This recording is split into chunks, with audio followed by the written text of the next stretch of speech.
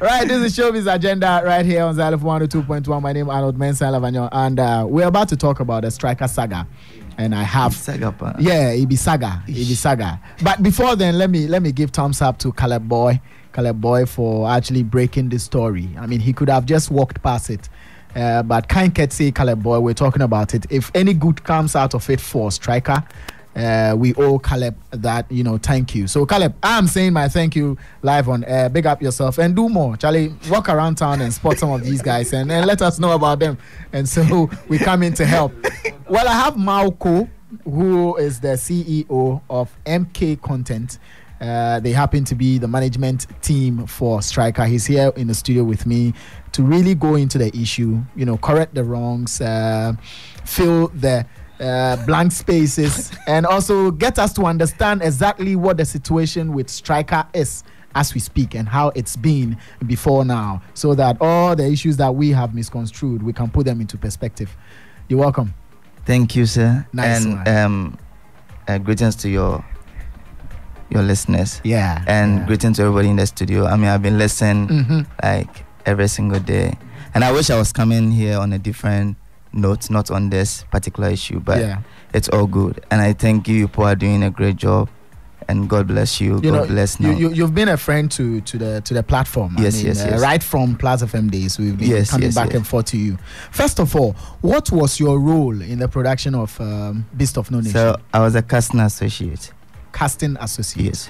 Um, what what does that mean to the so um, there was a casting team. There was a casting director from the US, and I assisted from Ghana with other um, Ghanaian team members. okay, so you So I worked on the film as you worked on the film as a casting associate. yes. In terms so, of casting, I was I was part of the team. so you were part of the people who selected these guys for yes. the movie. Who found all the actors for the film?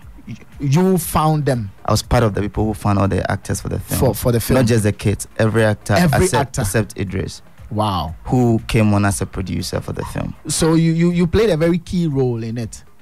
A Yes. very very key role. And Yes. aside from Beast of No Nation, what what other projects have you been on? Well, before Beast of No Nation, um, I worked on one of the Kubalos um, musical film, Cause, of, money. Yeah, Cause one of and money. two. Right. I did that, and then I've done a lot of glow commercials with Panji Anoff, hmm and then I've done a lot of theater. You've done a lot of Yeah. theater as well.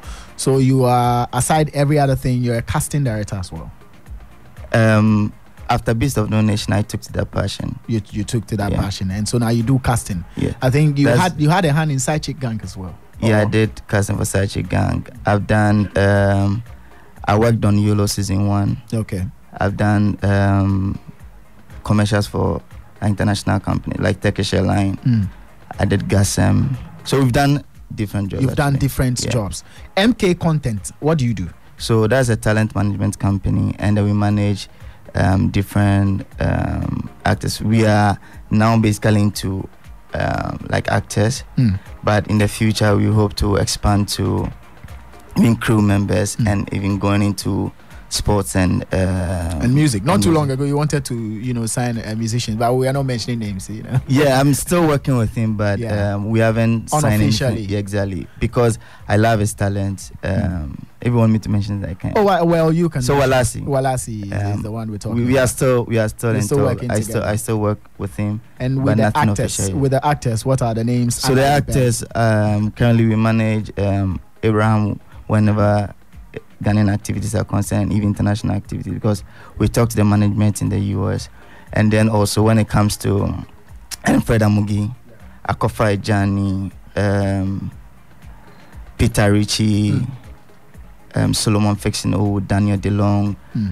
uh, um, Sicho Chico, um, Nana Ama McBrown when it comes to a film, um, film um, business, and then Striker, and then I mentioned Akofa already. Yeah. So yeah, Wow, you're doing great. All these great names under your, to your, God your be the belt. glory. Yeah, to God will definitely be the glory. So yeah, so I just wanted you to have um, a fair understanding and knowledge about the person we're talking to. That's how come I decided to profile him a bit so people can know who you are right. and why you're here. You Right. know. So, but this morning you are here on the ticket of striker, Yes. and so I'm going to read.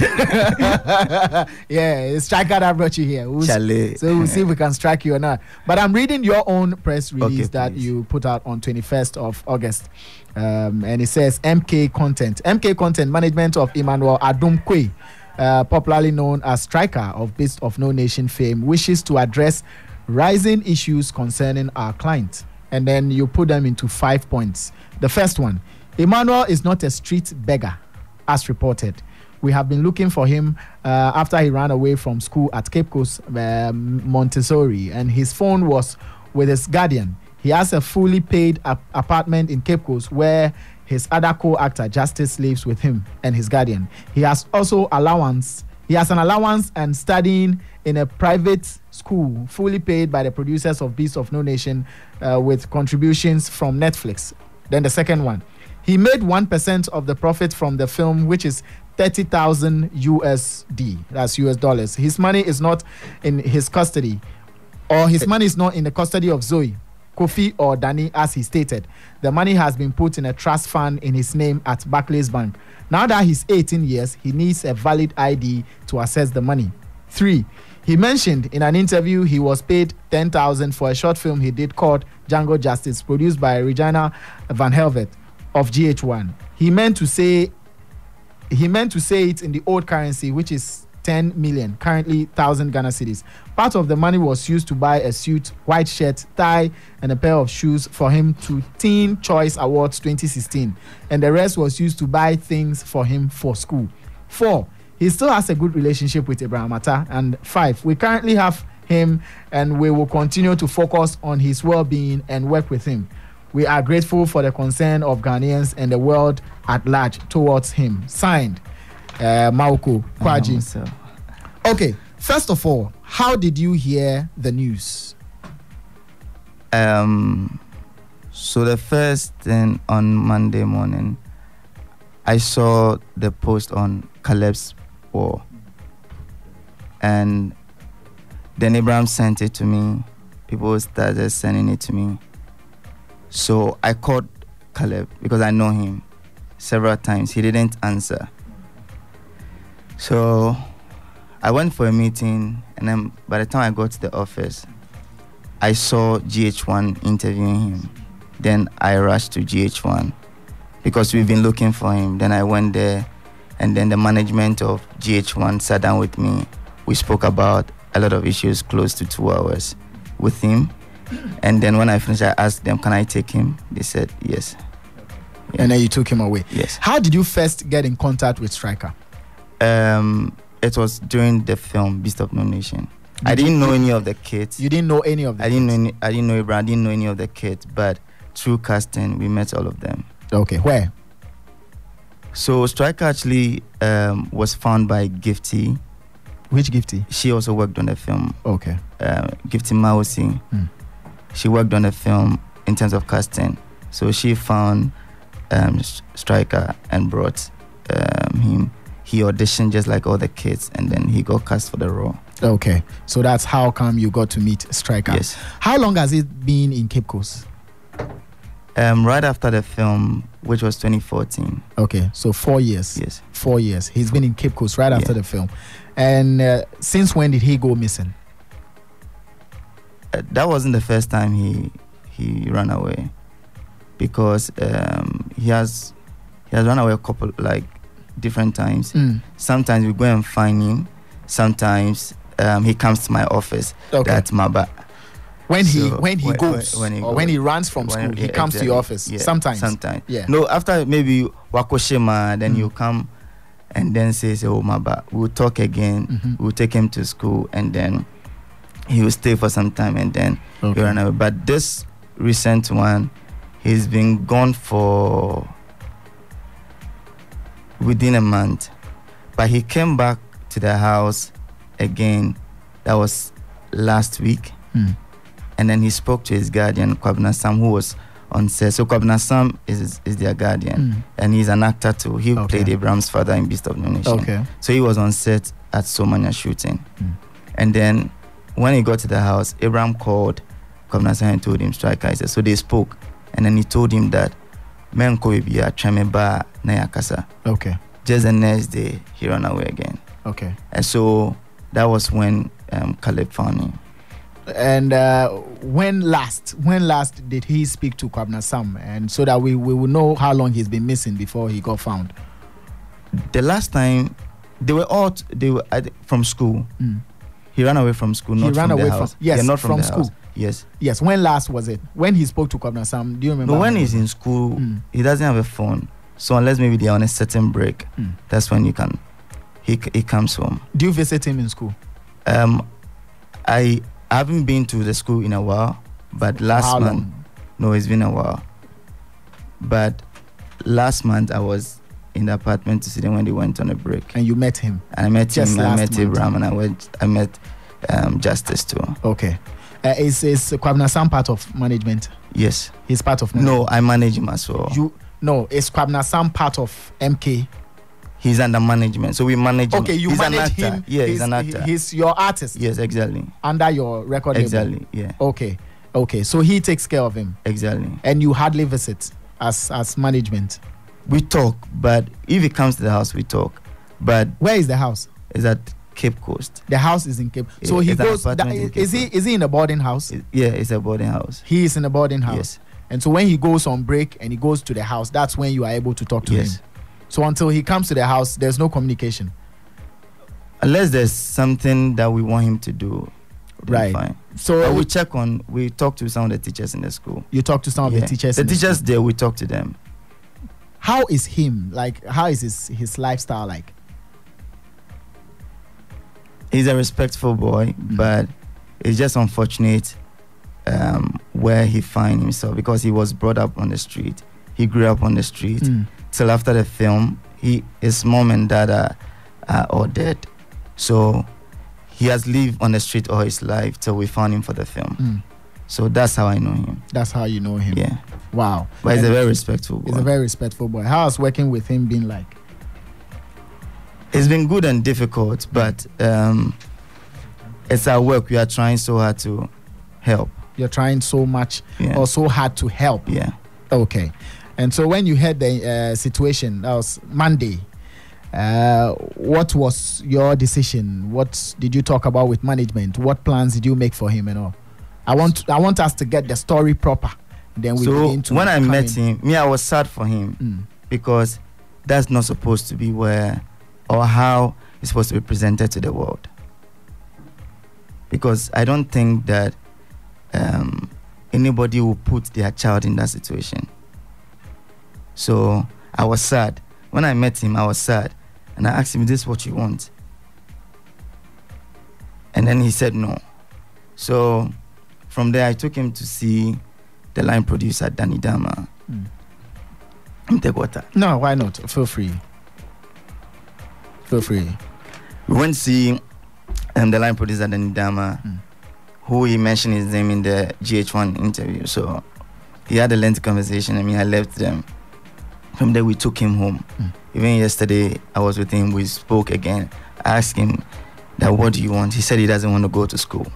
So we we have to think of how best we can help him to make sure that even though he's not in the classroom, he gets some sort of education Right. because that's very important. If he wants to continue acting, he has to be able to communicate one in English Mm. because interviews and things like that, you you can't always get it if Wow. you can't communicate. And even to read your script, you have to be able to get some sort of education. Mm. So we want to make sure he has some sort of education, Mm. even though it might not be like a class, like a formal education, Mm. but you get some sort of education. Wow. And then whatever he wants us to do to help him, we'll do it. Is this the first time he's telling you he doesn't want to go to school? No, he has said it a couple of times, but we, like we, I keep telling him Mm. that at least finish primary school Oh, because he has never been to school. So what stage is he? he's in class five now. He's in class five. How Yes. old is he? He's 18. He's 18, class Yeah. five. yeah, Is he able to read and write properly? he's able to. He's able to. He can't write properly. He can't read properly, Mm. but he can communicate a little bit. He can speak a little Yeah, bit. Yeah, exactly. Before you met him, or when you met him, was he schooling then? No, he was. He has never been to school. So when you took him to school, what class did you put him? he started from the lowest level, class one. He started from so class they, one. they they keep like he they had private classes just Mhm. to make sure they can he can get better and they push him to the next class because they he can't just go through the school without um, being able to uh, know what really he's about. Um, you said he's lost his parents, both of them. Yes. Uh, have you gotten in touch with any other family member, uncles, aunties, cousins? Yes. So be, uh, during the film, um, the custom process, Yeah. we went to the family house Where? at um, North Kaneshie. Okay. So we met the family. We told them about the film, and there was one auntie actually who we we we spoke to. And then from there, when we went to shoot the film, from there we we went back to the house, and then we told them what plan we have for him, that we are taking him to school, Mm. and they they said okay, because at the first place, Mm. even though he has a family house, he was living on the street. So uh, we didn't see the vibe that they, they were really concerned. You didn't see the vibe that they were They really, really concerned. concerned. What's the name of this auntie we're talking about? I can't remember her name. You can't remember his I can't. auntie's name, I can't remember. but you could tell that they are not really concerned about the boy. yeah, because really, if they were concerned, he wouldn't be on the street. Because even when we took him to the house the first time, Mm. Like it didn't look like they wanted him to even stay there. It didn't look like the family Yeah. wanted him to Yeah, stay there. because- Why? Why do you think Uh, it would look like that? Honestly, I don't. You don't know. I don't know because if they really care, or if they were really concerned, he wouldn't be on the streets or his life till we found him. Till you find Yeah. you found him. So from Monday, have you had any calls from family? No, After all what has happened, none No. of them has contacted no you. one. And No one. we've been waiting that someone from family will call us. Will but- call. How many years is he supposed to stay under your management? So I don't have a signed contract with him. You don't have a signed contract because he's a him. minor. You don't sign a contract with a minor. Okay. You can sign a contract with um, his parent. Now that he's 18, do you intend signing a contract with him? We, we still have like an open conversation, unless maybe s- someone comes or the family comes and say that now that our son is 18, we want him back, and then they can have him, and then if they want to put him under under different management, that is but, fine. But did you propose to sign a contract with any of his family members then? no, You didn't propose. No. So he's, Because he's after- under your management by word of mouth, yes, not legally. not we don't have anything documented. So, is there any benefits you would have taken should he have blown or gotten something? Would you have taken something as a result of you managing him? Well, under management, there's always a percentage the manager gets. But it's not legal. You Yeah, haven't signed anything. the or there- it verbal still works. Verbal yeah. agreements. it works. Word of mouth. Yeah. So, what was the percentage like? I don't Yeah. want to put it out. You don't want to put. Yeah. What, what was your percentage out of the uh, three thousand dollars or te- was it thirty thousand dollars? I wasn't managing by then, so I have no You weren't Right. managing him by then. Yeah, so when did you come into the picture? after the movie. After the movie. But in terms of contract for all the kids who were involved, so what they were paid actually on the film wasn't like a big money because it was an independent. Was an independent producer. Mm. So when an independent producer is going to produce a film, they don't have a big budget, Mm. but they have a big vision. They have a big vision So- and not a big budget. Exactly. So we spoke. They gave the the children some money, and then as part of the contract, we were able to Mm. get them that when the film make profit, they make one percent, and he made the one percent, which is the thirty thousand, Okay. and Abraham also made the um, thirty thousand dollars. Abraham also made thirty thousand, Yeah. and he also made thirty thousand. Exactly. How old is Abraham now? He's seventeen. He's seventeen. yeah, Where is his money? is with his parents, The money is but also for Abraham, he also has a trust. He also has a trust. at Fidelity Bank. Eh, his is at Fidelity Bank. Yes, And then Strikers is where? Barclays Bank. Wow. Okay. Thirty thousand. Yes, It's there. And- USD. USD. Yeah, And who signed for that? forward. For the money?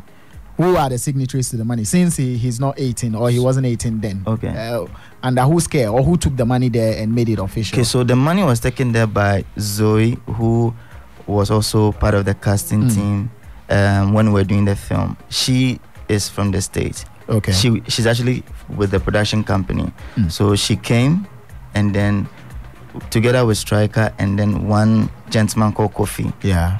they went to the bank. By then, I don't think I was around. You weren't around. I wasn't around. So they went to the bank and did um, the trust for the boy. But you are aware that the money is there. I'm aware. The money is there. Yeah. Now his dad, Teacher Note, and mom is Sister Comfort. I mean, they're all they are of blessed memory, though. Yes. Teacher Note and uh, Sister Comfort. Now you said that he he's run away from school a couple of times, Yeah. and you find him, then he goes. Now he he- he's under your management. You haven't put it on paper. So when the kid keeps getting missing and getting found, didn't you get alarmed? And if you were alarmed, what measures did you put in place to ensure that he doesn't run away anymore? Well, one, we we had a we had a lengthy conversation with him, Mm. and then and I know his problem that ɔsi osua adeɛ na ɛnkɔ Osi osua adeɛ na ɛnkɔ enko. yeah, Okay. and then I keep telling him that it's not about your grades, Mm. it's about you understanding what we want you to do. So, Ude go up to class six. He wanted to be a welder. A welder. Yeah. So um, the school had even spoken to Kofodia Sectec Mm. so that from there they can possibly get him to go and study The welding. exactly. But you wanted him to get to class six. exactly, least. exactly, so that you can communicate, Mm. so that you people don't laugh at you when you're even talking. Mm. Because in Ghana, cover of now a mistake, right? Yes, sir, Yes, and sir. things like that, and we don't want that to become of him. So whenever he runs away and he comes, we have a conversation. How da- how does he arrive? Say Oniska and Askashen on Afakaba I don't know for some reason I don't know how from Cape Coast to Accra. Yeah. So how how does it happen? How does he end up at home? Have you asked him how he arrived? Sometimes he's giving some like he's giving some money like whenever he needs it. Mm. So I think he uses some of that money to to come to escape. to, escape. Yeah. When he escapes, where does he go? Sometimes he said he goes to Polo Club. Polo Sometimes- Club Sometimes he said he goes to Agbogbloshie. Sometimes he goes to Osu. to do what? So his friends are there. As a child or where, when he was growing up, those are the people he knew. That's where he grew up from. From the streets. From the street. So his friends are Yeah. you know on the and then. I, I remember telling him that if you want to go and visit your friends, tell us, we'll put you in a car, we'll go and drop you there. Spend time with your friends. When you're done, we'll come and pick you. If you have anything to give, you we'll You give, it to them. And then there was a time we even took some of um, the tom shoes of Mm. Abraham, and then he went to his friends to give it to them right. at North Kaneshie. So we've been trying to keep him Mm. so that he will know who really is. But it's been difficult, but we will continue to work with him. But what went into the decision of taking him all the way to Cape Coast to school? Because we know that if it's Nakra, it's easy to run away. And um, So you knew that he had tendencies of running away from school before you even put him in school. no, yeah, normally, and then I've done this before. There's there's a kid that we I went to do a short film in the Volta region on the lake, like Yeah. close to the lake. Yeah. And then there's a kid we we cast from the community. Yeah. They take him to fishing every time, Mm. and they stay close to the lake. When you put such a kid to school there, when he closes from school, the lake is just close to him. He can always go there. So in order not to get him there, we brought him to Accra. Okay. So just to take him from here, so that whenever he wants to come, It will, he be, exactly it will be difficult for him to get here. exactly. Now you put him in a school, and the school keeps. I wouldn't say the school allows him to escape, but he escapes anyways. Have you contacted the school to find out how he escapes and what they can do to keep this boy in school? I know the school. You've been to we the school found the school for the boy.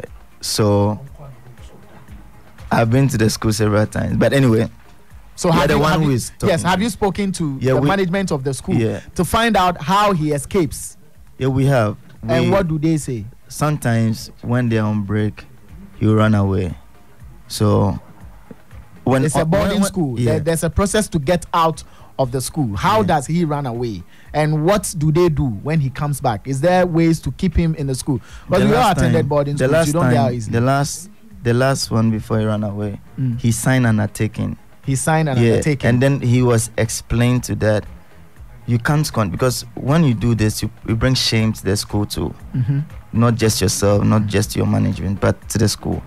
So he's he was explained. He, we had explained to him, and then he signed an undertaking that he runs away again, he should be expelled, thinking that that will make him stay in the school. But again, he did.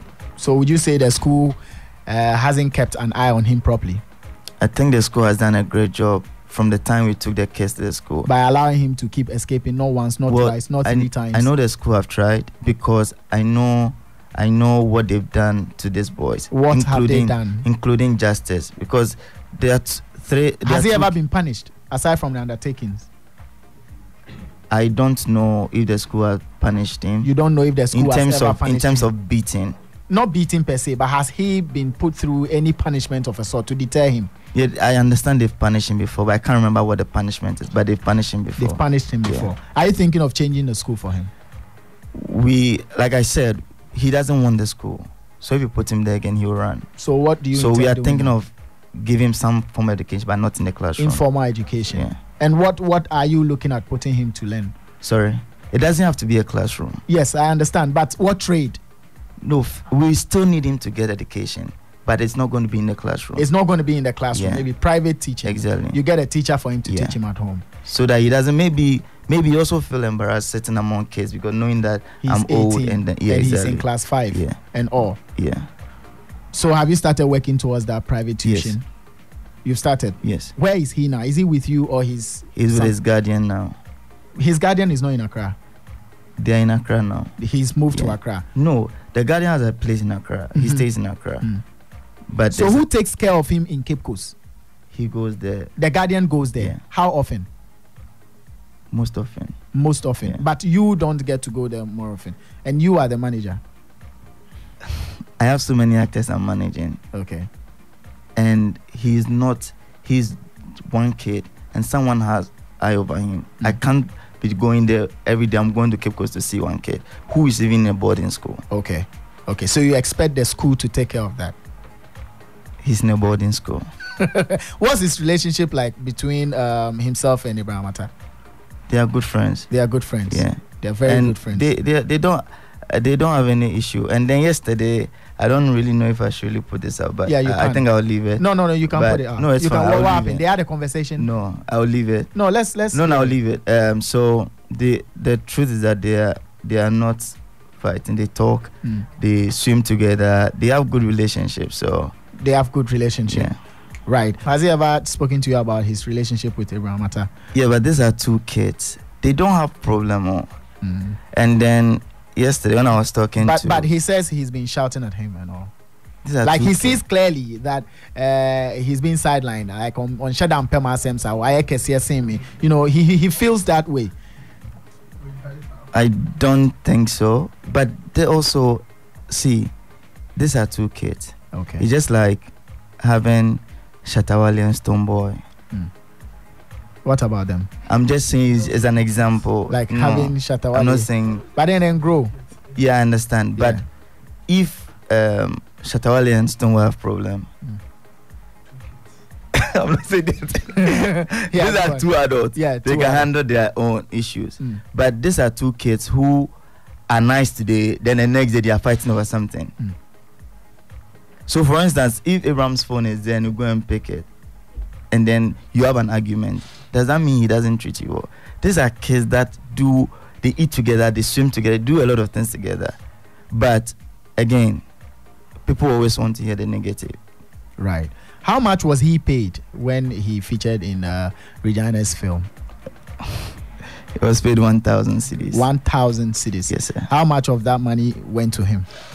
So, physically, I- don't think anything was given to him directly. He didn't get because any money. he was he like I said when he have money that goes to them like every time not just him him and justice okay. so part of the money was used to buy like the suit and then the things that I mentioned the press statement Hmm. and then some was used to buy some things for him to go to To school go to school. things that he he himself want so it was used Do you to remember some of these things that he wanted that you purchased for him?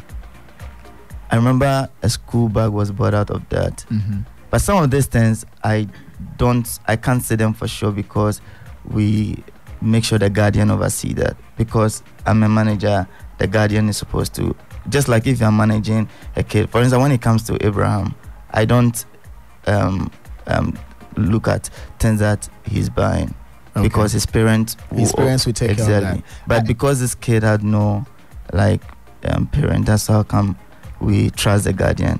To to do that for him. Are you looking at getting some jobs for him, or you just want him to go to school now?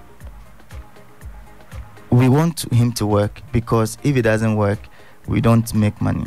Mm. So he needs to work. So if it doesn't work, then it's it's also difficult. So have you been looking for jobs for him? yes, recently we just finished a film called Boga. You finished a film called Boga. He was supposed to be on it, but because he ran away, we couldn't find him for the role. Because he ran away. You couldn't find him for the role, Yeah. but he was supposed to have been featured On the film. on the film Yes. Boga. Yeah. Then he ran away. Then you lost. I know. How do you intend cutting this runaway story? I'm I'm, I'm going to take views So from that we the don't take Yes. How do you how do you intend cutting that story? so that he won't go to uh, so that he's not in the class. Once he's not in the classroom, he has assured us that he's not going to run away. Once he's not in the classroom, he has assured you that Yeah. he won't run away. Yeah. Do you think is the best decision he has taken as an adult who is taking this from a child? Is that his, I the, think the it's a, very, it's a very good decision. to stay out of the classroom? You think is the best yeah, decision? because osua nkɔ okay. nti wobɛyɛ ne den wobɛpae ne tena wode ahyɛ mu wontumi nyɛ saa. Untimi nyɛ ne saa. so you have to guide him So striker staying out of school is the best decision you think he has taken. well he's an adult now he's 18 All right, all right, okay.